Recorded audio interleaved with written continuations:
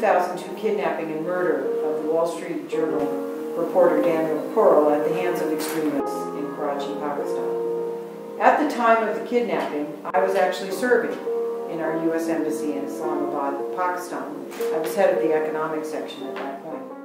After uh, Danny's untimely death, his family and friends all came together uh, and they set up the Daniel Pearl Foundation, whose mission is actually to promote cross-cultural understanding through journalism, music, and innovative communications.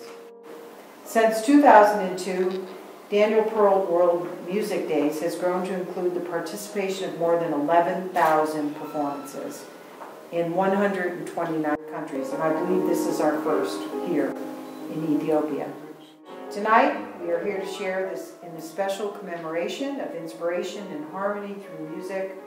I hope that the beautiful classical music played for us by Otto Gurma will inspire you with a sense of unity and purpose. I'm pleased and honored to host this event this evening in, in memory of Danny Pearl and to reinforce the commitment of the United States to freedom of expression and support for independent journalism. I also invite you to reaffirm our collective commitment to international friendship by taking a stand against the divisive forces that took Danny's life. As you know, journalists are uh, people uh, who serve the public by providing information.